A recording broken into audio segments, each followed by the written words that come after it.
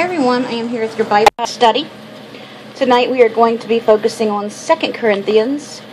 Um, the best they want us to focus on tonight is 2 Corinthians uh, chapter 11, verse 14. For Satan disguises himself as an angel of light. Mm-hmm. So beware that some people, that some priests, some nuns, some you know, big members of the church, even people that go to church just on Sunday that pretend to be good. Not all of them are really good. Some of them are in disguise, like Satan this is in disguise as an angel.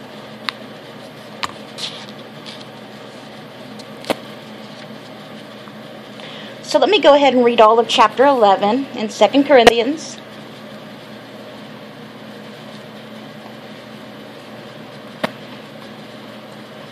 Uh, Paul's going to be talking about the false apostles. Some people are just in it for the money, and some people are just in it to try to persuade others of a different way, an ungodly way. I hope you will put up with a little of my foolishness, but you are already doing that.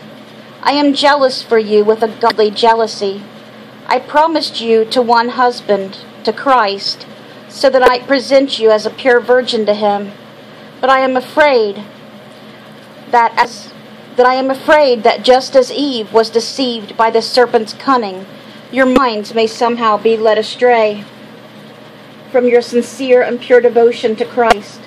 For if someone comes to you and preaches a Jesus other than the Jesus we preach, or if you receive different spirit from the one you received, the Holy Spirit, or a different gospel from the one you accepted. You put up with it easily, though. But I do not think I am in the least inferior to those super apostles. This print is so small. I may not be trained speaker, but I do have knowledge. We have made this perfectly clear to you in every way.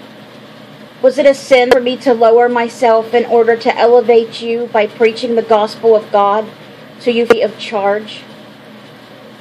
I robbed other churches by receiving support from them so as to serve you. And when I was with you and needed something, I was a burden to anyone.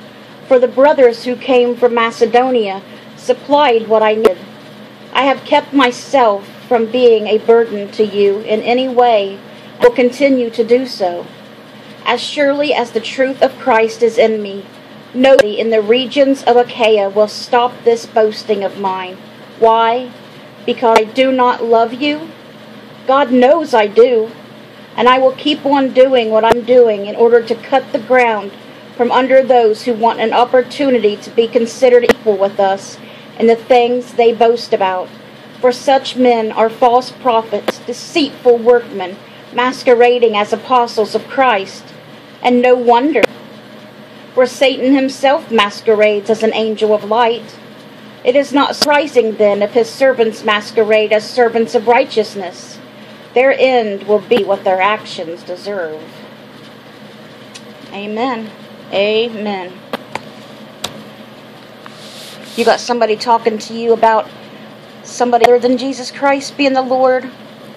Or being saved a different way than what you're supposed to be saved by. You're supposed to be saved through Jesus. You're supposed to accept Jesus into your heart. Let Jesus take control of your life. You have to believe that Jesus is God's Son. And Jesus was hung on a cross for our sins. And he raised from the dead three days later. And he's alive in heaven. That's what you're supposed to believe to be saved and have your name written in the Lamb's Book of Life. Don't accept no other except that. And no other than Jesus Christ, the Son of God, because there is no other. And the Spirit talking about, where was it? Oh! Sorry, sorry. I need to get a tripod so bad. I'm going to get one. I'm going to try to get one next month. Okay, let me see here. What did it say?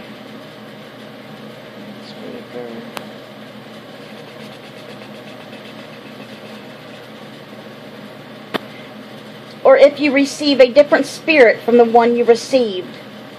Spirit they're talking about here is the Holy Spirit. You don't want any other spirit in you that they offer. It's probably a demon. The Holy Spirit is the one that gets in you when you're saved. The Holy Spirit. That's the one you want. And you'll know if it's good or evil. You'll know. If you get saved through Jesus, you got the right one. Okay? So let me go ahead and read today's devotion. I'm so sorry I dropped the phone on you guys. Please forgive me. I hope it don't fall again.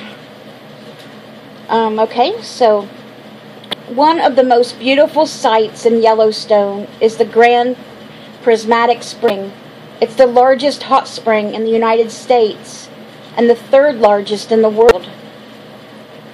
Ferdinand Hayden, who led the first official expedition to the spring, said of it, Nothing ever conceived by human art could equal the peculiar vividness and delicacy of color of these remarkable prismatic springs.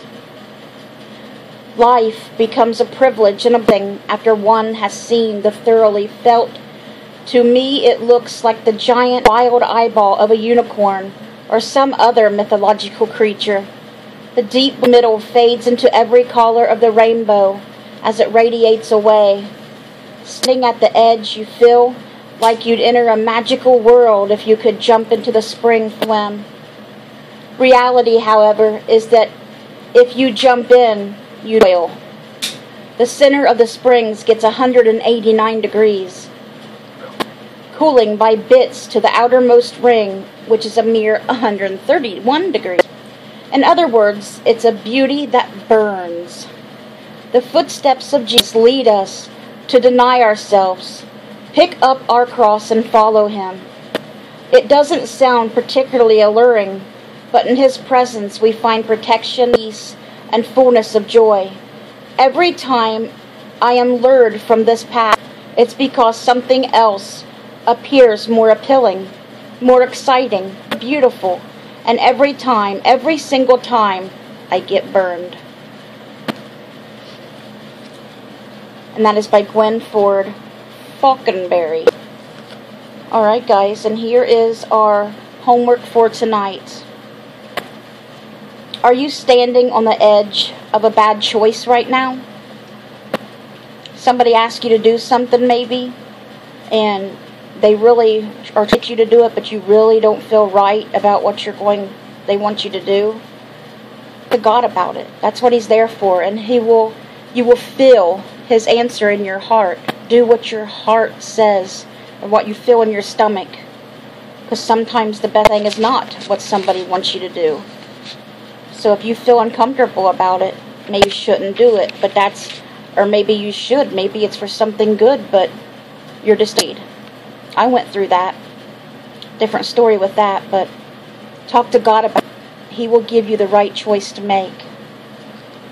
Ask the Lord to help you see past the disguise and find truth in Jesus. I hope you guys have a great night, have sweet dreams, and I hope you all have a very Merry Christmas.